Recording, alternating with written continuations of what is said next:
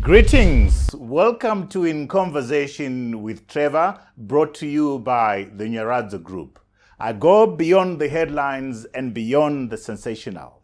Today I'm in conversation with Dr. Olivia Muchena, former Zimbabwe cabinet minister. This is a part one and part two of a thought provoking conversation.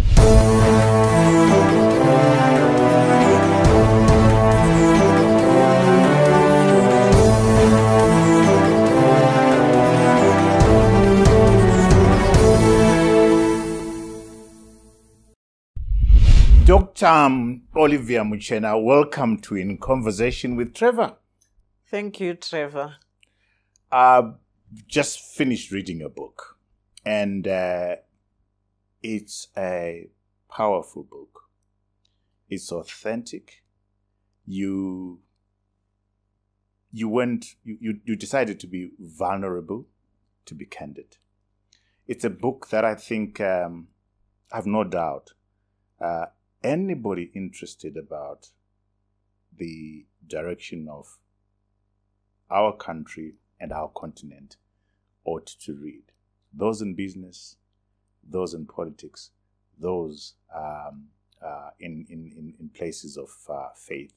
This is a powerful book to read. I want us to start almost at the end, and then we will walk back.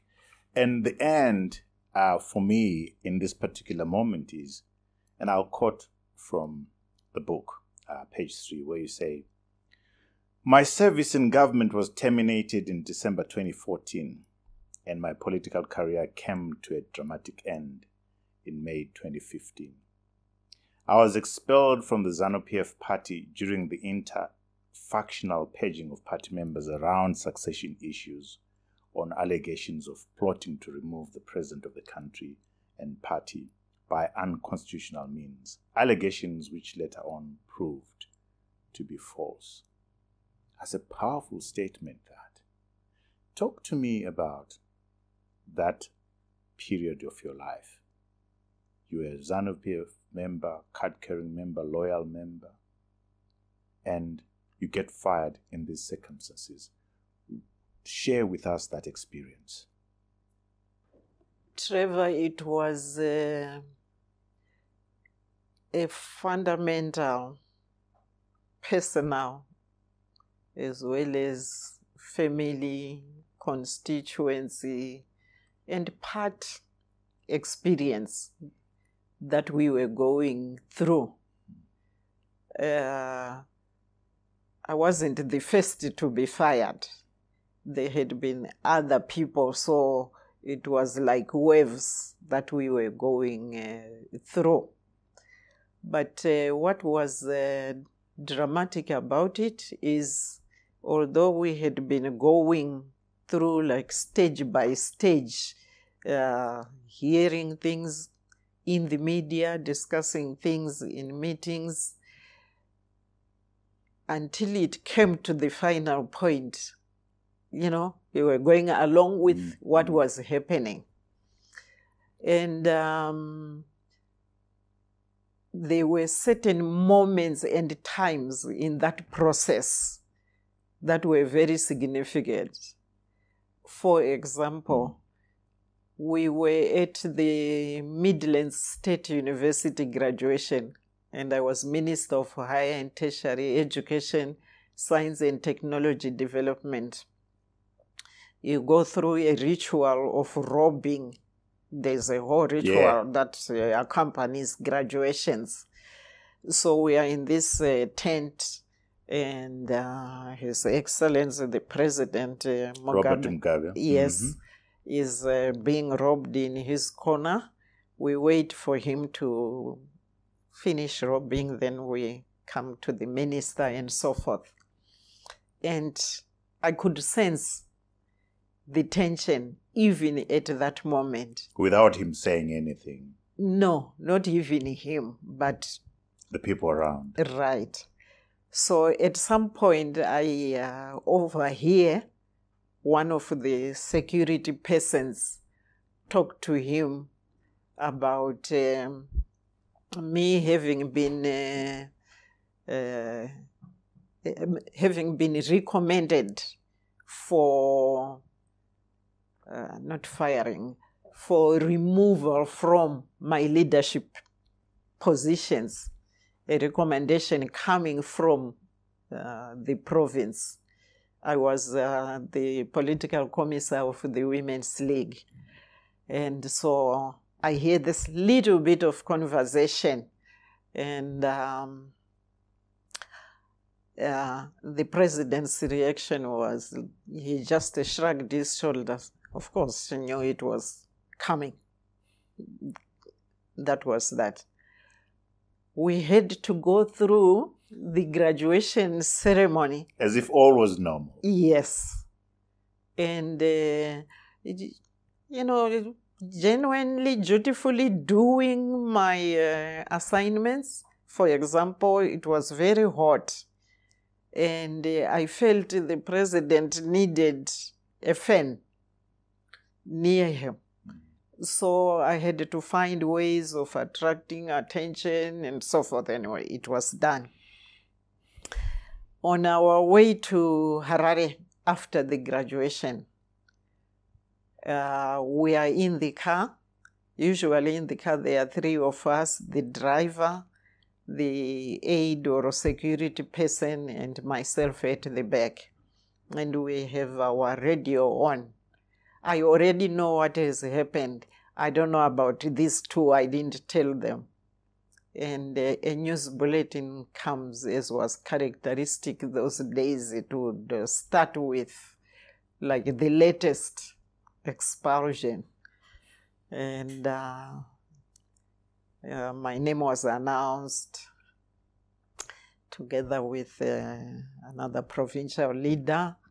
And uh, I could sense the tension of these two people in front of me. And uh, like a painful tension. And I, I just felt you know, I could do something to to lessen their attention.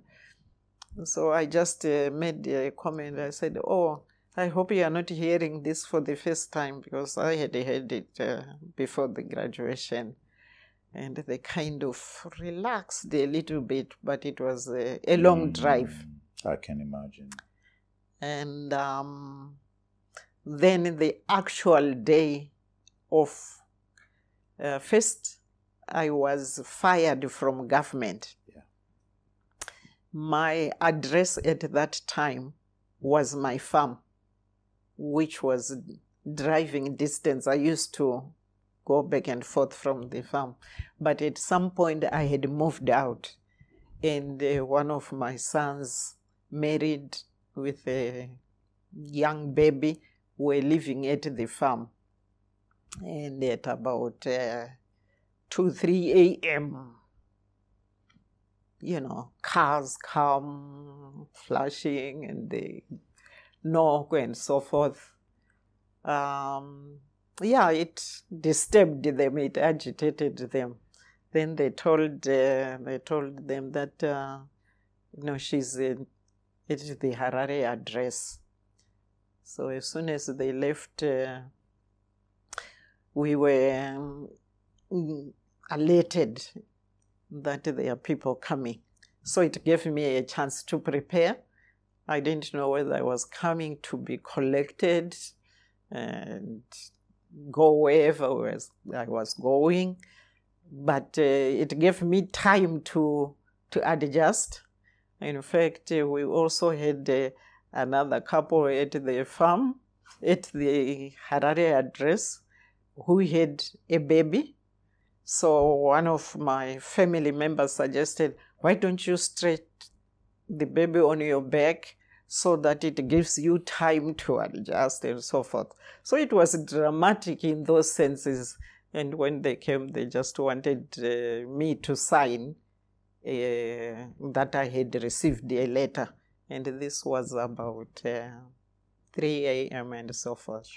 And what is what is the letter saying? to say I was uh, relieved of my uh, duties as a minister because I was no longer uh, following the government. Uh, hmm hmm yeah. And and then you get fired uh, from the party too. Is yeah, that another process? that's another process.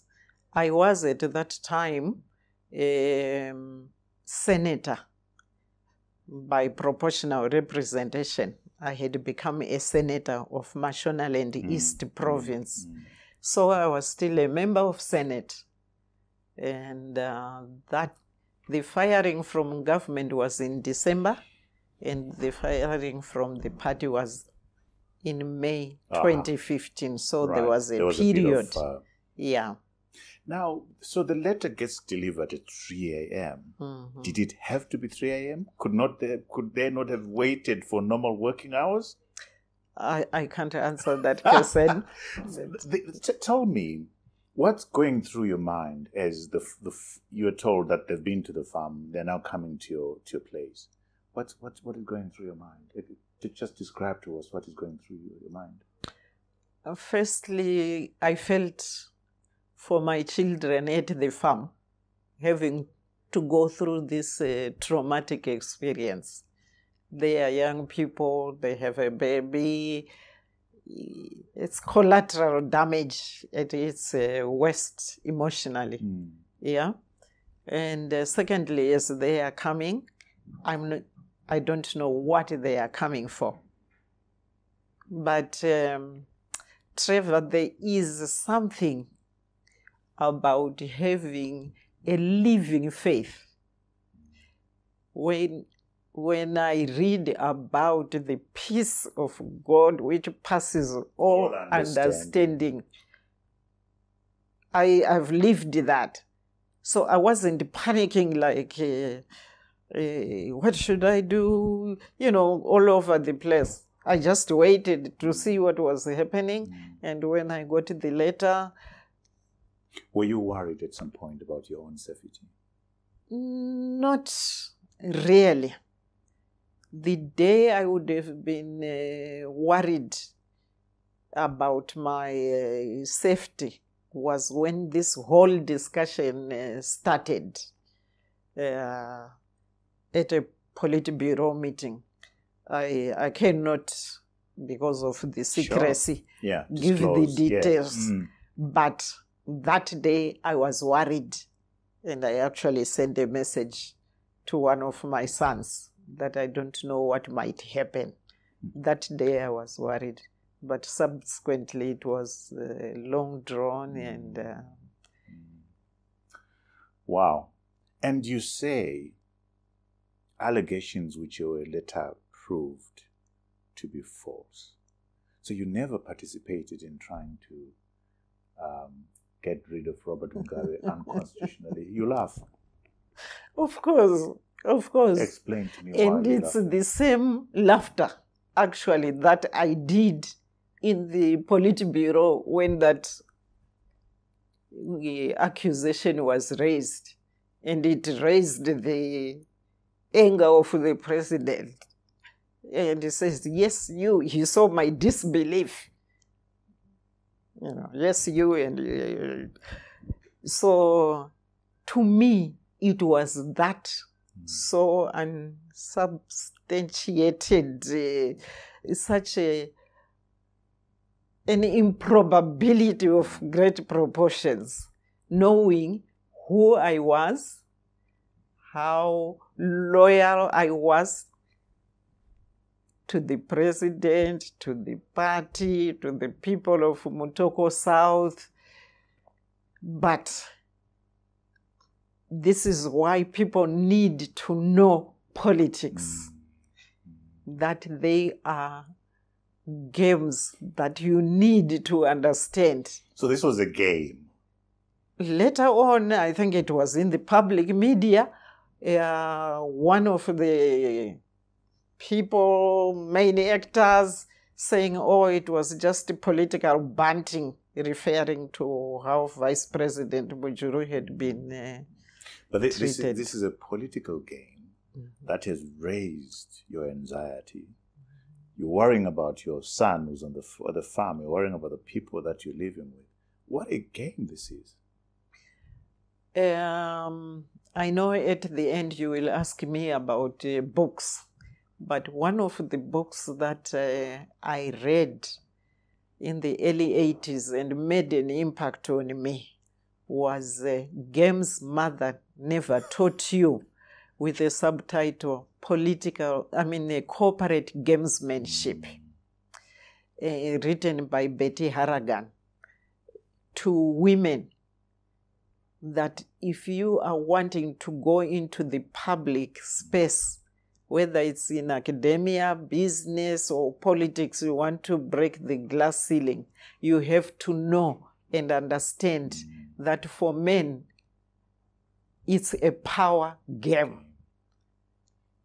It's modeled on the military, it's modeled on the sports, and because women are not socialized uh, through sport or military, we start on ground zero, as it were. So your firing is the other side of the bookend, and your hiring is the fascinating uh, part of the bookend, and you capture it very well. You say, a phone call came from the chief of protocol on that 15th day of April in 1995, sent me into a panic mode. The president of Zimbabwe, His Excellency Robert Mugabe, wanted me to report at the State House at 11 a.m. that morning. What had I done? Why did he want me there? And which is State House of the two complexes on Borrowdale Road? I asked all these questions at once without waiting for an answer. So you've been fired, and you get to discover that these are political games, that you were not equipped. You get fired, you're, now you're hired, you are as innocent as they come. Talk to me about that, the, the excitement, the anxiety is after the call as you process. You've been, you've been hired. Yes, You're a cabinet minister now. Yes, I didn't know that. I'm coming from academia. I'm going into politics because I'm tired of common room political discussions and so forth. I am charged. I want to go and work with people from Mutoko South. I've won the elections, so I'm ready.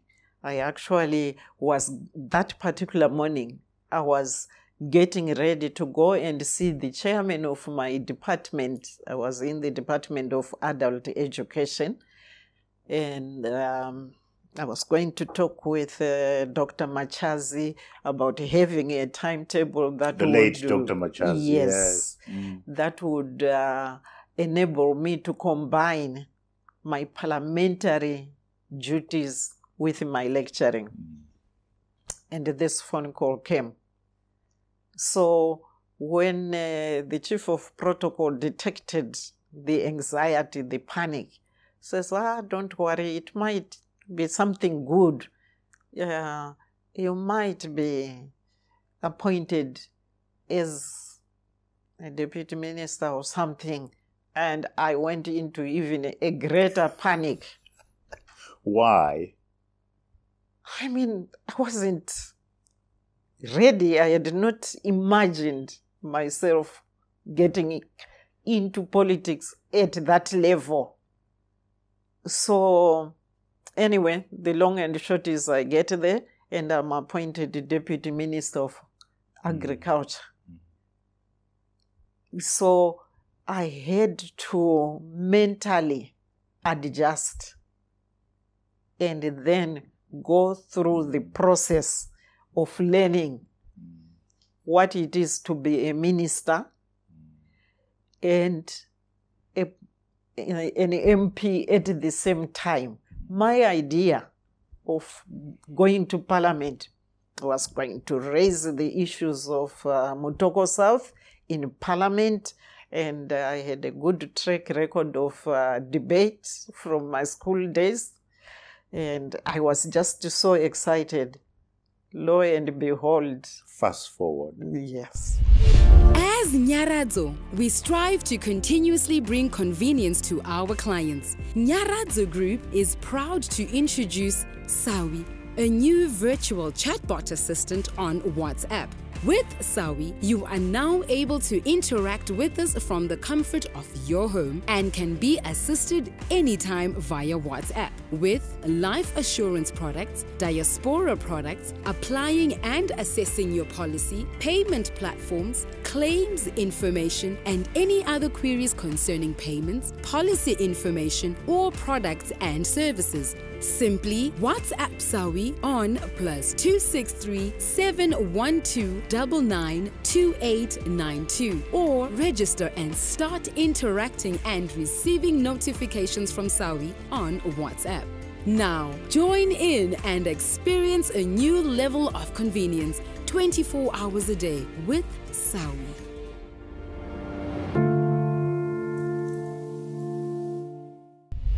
Your um, this book um, essentially captures the wisdom that you gathered from the knocks, um, from your experience, from that day when you're hired to the day you're, you're fired, and many more. And like I said, it's so authentic, it's so um, uh, candid, you are vulnerable. It's beautifully written, it's so compelling. The, the, I must ask you this why don't we, why don't politicians at that particular moment, when the call comes and the president says you're a cabinet minister, say, you know, Mr. President, I'm not ready. Give me time to be ready. Give me maybe two months or whatever. Talk to me about that crazy idea. I'm not ready because you're not ready, hey? You are not ready. Why don't we say, now that you know what you know, Mr. President, I am not ready. Can is there a school? Is, is there something that can be done to make me ready? Talk to me about this crazy idea that Trevor is uh, putting before you. You partly answered that question. I'm not ready. Is there a school? You know, part of what Beyond the Book is going to do is to get people ready. And as a tester, an appetizer, we have an animation of somebody saying, doctors are trained for five, six years, wherever they come from, engineers for four years, nurses for so many years, and so forth. How long should or are politicians prepared for political roles, mm-hmm. and where do they get prepared? Trained. Engineers spend years getting ready. Doctors, teachers, accountants all have to spend a significant amount of time in preparation to be able to execute their important jobs with excellence. Politics, though not considered a profession, affects everybody and everything else. How much time should politicians spend in preparation? In comes the next generation African political leaders. The Power of Preparation by Olivia Muchena. Here is a powerful book based on 20 years of personal experiences and observations in politics and government. This book is for aspiring politicians, especially the young, women, professionals, Christians, practicing politicians, and other players. The book teaches the aspiring politician to check their motivations. Do you want to get into it for the fame, glam, and personal gain? Or do you want to serve your people? How much do you know about the different contexts of African politics and their impact on political behavior? The book will take you through the various contexts of politics and governance in Africa during different historical periods. In this book, you will learn about the pros and cons of being involved in politics. You will learn about the benefits of being in politics. And nope, it's not about getting riches. You will also learn about personal development. In essence, this is an African politics playbook. The challenge for the Christian and the citizen is to be or not to be involved in politics. Is there even a choice? There really is not an option except to choose your level of involvement. Whatever level you choose to be in politics, this book will guide you. You see, in the book, I liken uh, political involvement to married and family life. Yes, you do. There are very few places, institutions where people are prepared. You go through training, hmm. formal training for marriage or family life. You either have some traditional mechanisms, but by and large, a lot of people is they do what they have seen either their parents or other people do or do and on the job learning. Mm. So, I am saying, just as doctors who deal with life and death, just as engineers who make these structures that can be life threatening, imagine politicians whose activities, everything about politics affects everybody. And yet, there is no intentional, deliberate training. I'm not talking of political science. I'm talking of the practicalities, the basic knowledges. Where does that training take place? We need it. As you were talking when you started, you're saying you had gotten tired of um, university politics. I discovered that one place where there's terrible politics is the university. the senior common room and whatever. And I'm, I raise that point because I'm wondering are some of us born naturally politicians and therefore we don't need to be trained? Or is there a difference between being in the civil service, serving as a cabinet minister, and being a, uh, a, a, a career poli- politician? Do they need to be trained or they need to be human beings who are grounded in the things that are important for the common good? uh, the training that I believe is needed is uh, very basic and very practical, which, whether you are born one Mm. or you make yourself one, you do not know or don't have at the beginning. To illustrate, yes, I know there is a country constitution, but that there are three pillars of a state the executive, which we call government, the legislature, parliament, and the judiciary system are like our three cooking stones where we balance our pot. There are certain relationships which you don't know as an MP who has had the courage to run, but no information. Or you are in a civil service with regulations and so forth. Fortunately for the civil service, there are some countries with very well developed civil service training. For example, uh, the French, I didn't know that in 1794, as part of the French revolutionary processes, they established what they call the Grandes Écoles, Mm. civil to train civil servants for service and excellence. Definitely a trained civil servant, and we have varying degrees of training in various African countries. A trained civil servant knows how to operate. And here comes a minister. And this trained civil servant has to deal with this very important, very powerful person who doesn't know Who is as raw as they come. how government works. You said something again that I must uh, uh, go to. You say this person who's had the courage to run. And, and I want to, to, to, to say to you that's the problem we have in politics, uh, in the way our countries run. That the people with the courage don't necessarily have the requisite skills to lead. So we have in Parliament uh, people, Parliament and and and uh, and um, municipality, people with courage, but without the wisdom, without the experience to lead. What's your pushback on that?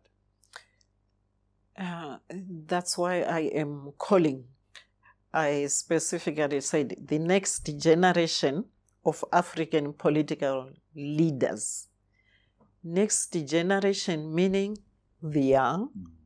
the women, the professionals, Christians, or whatever faith you have, and anybody who aspires to lead. To lead. There is a need for preparation mm. in order to be effective. Mm. You you say something again which um, I found interesting, where you talk about being ostracized once you were fired, and uh, the perhaps one of the few people that came to your aid. And I was saying before we started that you and I have something in common. I was fired from being editor of the Financial Gazette. And when I got fired, I was so I, said to myself, I have many friends, people that know me. The phone is never going to stop ringing. Um, I'm going to get calls, people supporting me. The phone never rang. And what you're saying here confirms that. The only person that came to see you was your Reverend, uh, Reverend Ronnie Nyakuyengama. And he and other people came and sang hymns and prayed and quickly went away. What did you learn from that experience? Um, from the firing experience, mm. exactly as you describe it, that suddenly you have no other people except your family and those who might be going through the same experience. Uh, I may not be comfortable to mention sure, that uh, some of the people who were fired together with me, there were three of us who who met. Fortunately, they were always coming to my uh, house, would uh, make tea or a meal and eat and talk, but it was like reinforcing each other. Everybody else, remember Trevor, were being accused of wanting to remove. That's treason. Mm, treason. And you know what the sentence for treason mm. is? Who wants to be associated with that? to remove of all the presidents, President Robert Gabriel Mugabe. So nobody wants to come. At first, I used to to wonder what was happening if I go for a funeral or a wedding.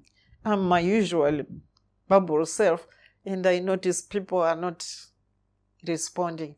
Then I'll say, "Oh, okay." Then I'll quickly mm. go away. So there's that isolation. And then there are those few who dare, like my pastor there, to be seen coming in broad daylight to uh, give you encouragement. It was a heavenly moment. Mm. So, one of the lessons that we draw from a firing experience is one, know the value of your family. Oh, wow. Know the value of your family. They stand with you. Good and bad. Yes. And then value those people and friends who will dare to remain related to you. One of the things that uh, I find uh, uh, interesting. A lot of times I meet people and they say, Oh, Oh, how are you? Where have you been hiding? Excuse me. Did you come looking for me? I wasn't hiding. I go about my business. You were hiding in from me. And so forth. So it's now I'm now the the one who has been hiding and not you reaching out to me. It's- human relationships are very important. And in politics, that's very important because political relations are not, they are usually functional. I get, I get you, get you. Um, but have we not been poisoned as a society? That if I support Nelson Chamisa, I should not be seen with somebody who supports Emmerson Mnangagwa. If I support Emmerson Mnangagwa, the CIO are going to be behind me and say, "Why did you have tea with somebody who supports uh, Nelson Chamisa?" I find that so toxic. But that's reality. Am I right? it is reality and i would want to say a stage of political development i say in the preface that uh, this book started as an international leadership foundation project when i went through their uh, training program. They required me to do a project and i decided to uh, evaluate their governance module based on my experiences. It was very important, and uh, the leadership of ILO, Professor Dela Adadevoh, uh, who actually established the ALMA Yes. here. Right. Yes. Wanted this done. So I asked for an atmosphere to do it and finish it. I went to Ghana for one month on a working holiday. I was living with my niece who was working with the FAO. I had not realized that there were elections going on in Ghana uh, at that time. Trevor, I was fascinated. I had to force myself to do what I had come for. Otherwise, I was glued to the TVs. They had like five independent channels, completely independent. the debates, I mean, the government had also the TV channel and very good. And each of these five will have a panel of uh, MDC, Alliance, ZANU PF, whatever, and they are busy discussing. Go into the street. There's so much traffic in Accra. Hmm? So as we are going, there are these vendors with a bundle of party re- parties regalia. So a motorist will call and say, Give me that ZANU PF flag. I say, no, I don't have. So and so, bring this ZANU PF flag here. Isn't Give that me- amazing? I mean, I, I was just, my mind was blown. My mind was hmm. blown. Every aspect of that election. Yes, they had tensions hmm. and one or two incidences of violence were reported, hmm. but by and large, it was just amazing. I learned a lot of things then. Growth and development takes place in all situations, circumstances, sectors, including politics. Hmm. This parliamentary system that we have adopted hmm. came via decapitation of king's heads. Hmm. You know, candidates used to be kidnapped. I'm talking of British. sure, sure, I hear you. Yeah. Mm. But now we eulogize them as the beacons of Mm. democracy. My my plea is democracy is not one size fits all, Mm. is not instant coffee. We are moving, or we are in a country. I, I put an anecdote there where I illustrate through one day. Mm. I have been to Chije, very remote, very traditional. I come to Mutoko Center, the growth point, a little bit of urban. I go to Parliament. We are now in Parliament. I go to my ministry office. I go to I go home, I pack, and I'm off to Los Angeles for some Mm, big mm, meeting. mm. So you see the spectrum of political understanding and operation from Chile to Los Angeles.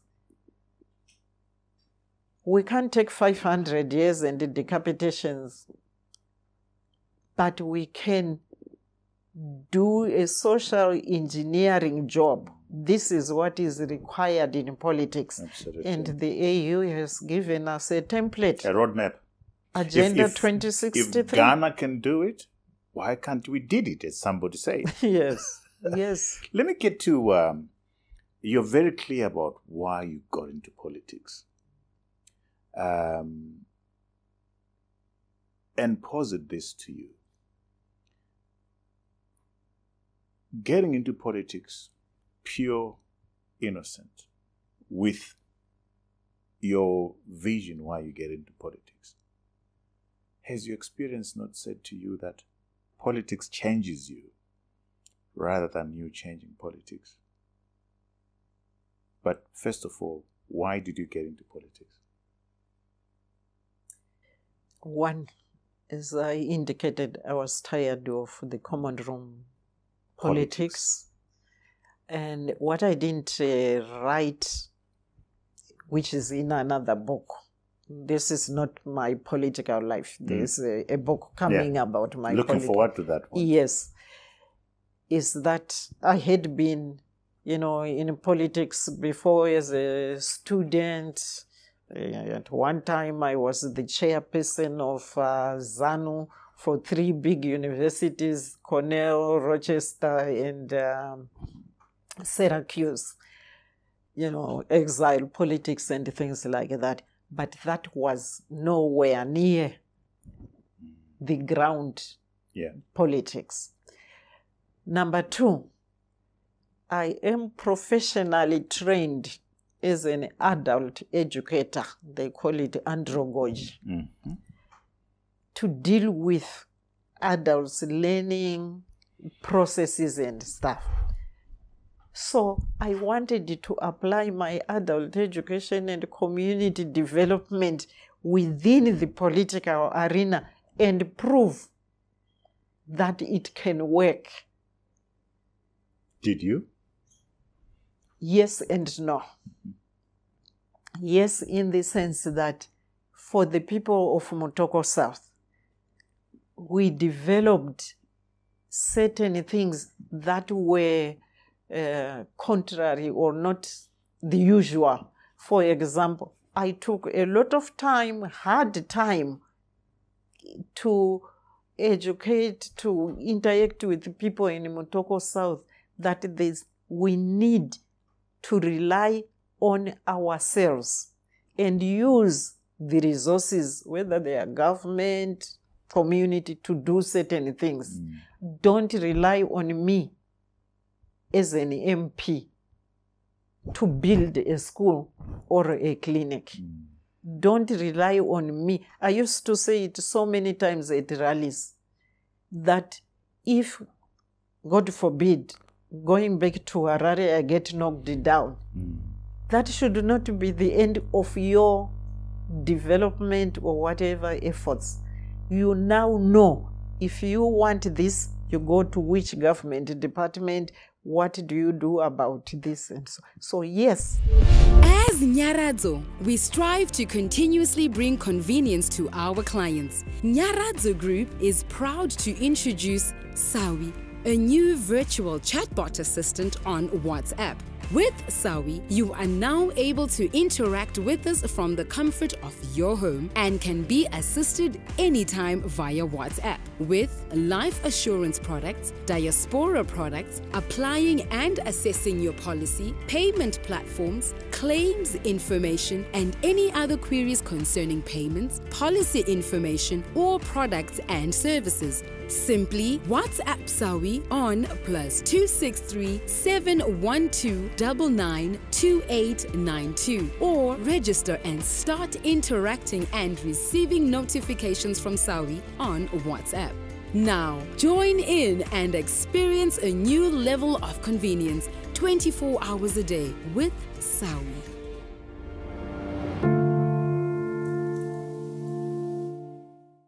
One thing that you, in your being vulnerable in this book, you tell the story of your son uh, asking for $40 to buy a gift for a teacher. And you say, Why do you want $40 to buy a gift? And your, your son says, I want to buy a gift to, for, my, for my teacher who is white, who has stood by me and supported me as I was being criticized for what you, as my mother in the government, have done as part of the government relating to the land uh, acquisition that was taking place. And you say, I gave him the $40. He thanked me and left. Overcome with emotions and confusion, I rushed to my bathroom, knelt and cried for the pain I was causing my children because of my public office. Talk to me about that. Yeah. Um, collateral damage, especially on the family, especially on children, is one uh, inherent aspect of uh, political or public life, which we need to develop ways of dealing with. And uh, part of why I'm making myself vulnerable is to invite that learning process. How do we deal with situations where you are maligned? I mean, horrible things are there out in the public domain without any regard of the impact to the children, whatever age. For example, while we were going through the land process, know, remember I was deputy minister of agriculture, and lands was in agriculture, and part of my uh, involvement at that time, initially when we were listing all those farms for designation, was to help Minister Kangai do whatever papers needed to be done. I also had to interact with the Commercial Farmers Union.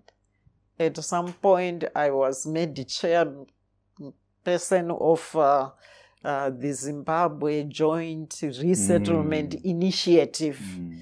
that brought farmers, white farmers, and government to work out other ways of doing land reform, even while this was going on. I mean, just to persuade, to say, this is your farm. Mm. Take whatever corner you want, and we subdivide. You know, we were going through that. No sooner had you done that than you see some headline, which is totally against this. So all this was in the public uh, domain. And uh, oh, that's another book. Mm. My experiences of the land reform because I was Can, seven can we, can, years. can we just get onto that? Your experience of uh, the land reform without getting into who got what farm and so forth. Could this have been done differently? So here is the thing, and, and push back as much as you want. Land reform was important. We couldn't go on with uh, the manner in which colonialism or secular, the uh, secular regime had, uh, had, had uh, bequeathed to us. Land had to be redistributed in an equitable manner, but guided by the fact that is can Trevor produce? Is he a farmer? Is he trained? And it could have been done in a peaceful manner without any blood being shed. That's my that's my look at it. What's what's your pushback on that? Could could land reform have been done in a different manner? What would you tweak to make it look different from what from what we've had? Yes, land reform, as it ended up happening, could have been done in a different manner and it was actually started in a different manner. Trevor, you and I, the people of our time, generations, knew that people went to war not for one man, one vote, mm-hmm. but to get back the land. We actually had experiences of people being moved in our lifetimes from where they were to other places. Hmm? Fast forward, we get independence. Mm. We have one man, one vote. We mm. have come. We want to now realize what this was about. all about. First, we have a clause in the Lancaster House Agreement that says you don't touch land for the next 10 years. Hmm? People are still simmering. Mm. Within these 10 years, we have what we call willing seller, willing buyer. Mm. Hmm? We actually went through that process. Yes. And what was being willingly sold were still the sandy soils of Mutoko, not the Chishawasha red soil hills where my ancestors had been moved from. Hmm? This is happening and slowly, mm. and the people who had been part and parcel, when I say people, I mean the population, yeah. Especially the rural population who knew what this was all about. Yeah. I say, so what was the war about and so forth? Do you know that one of the first activities on land reform was uh, the late Vice President Muzenda going to um, uh, this place in uh, Marondera, rural place in Marondera, where the villagers had said, uh-uh, we can't wait for this government. And they had occupied long before the mm. land reform. Mm. And the vice president had to persuade them to go back so that we do this thing in a good manner. Mm. I think certain things happened in this whole process. One, there was a very strong belief in our white population that the British will come to their aid. It would never happen. It would never happen. So whatever willing seller, willing buyer, Zijiri initiatives, these were like cosmetic things. Mm. They were waiting for this thing to happen, mm. which did not happen. Mm. And the impatience is increasing. Mm. That process was a revolution in itself. Mm. Trevor, I don't know many revolutions True. that are bloodless. Mm. I am not condoning the blood, but what I appreciate is it did not, it could have been worse than what happened there were legal mechanisms put in place to acquire, to distribute, and even a tea party. If we are having a tea party, I can kick the table and the linen is spoiled. So things, there were things that went wrong, mm. but the intention, the processes had been designed to make it work. But is it not this where the issues that you're raising here become important, come to the front? Leadership, integrity, a steady hand, leadership that is above the noise that is being created by the white people and the people wanting farms. Is that not where what you're talking about becomes important? It is important, and I believe we did get that leadership. What I uh, always want or hope, in fact, one of my um, sons wanted to do a longitudinal study of the land process from the time it began to where we are now and show what had happened. One of the things that uh, bedevils this whole thing, I'm sorry to say, to a media person, is the power of the media.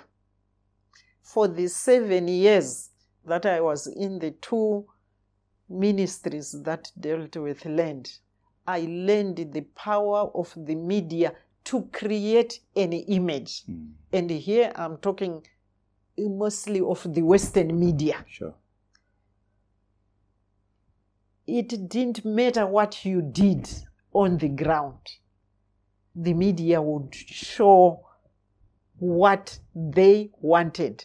And the objective was one don't you dare, South Africa. Don't you dare, Namibia. Don't you dare, the Latin America, thing. do the same thing. In fact, late Minister Mudenge was told by his uh, classmate, who was also foreign minister uh, in the UK, that Stan, we are going to squeeze you until your people rebel against you. Thank you for watching part one of my conversation with Dr. Olivia Muchena. Don't go away. Join us for part two.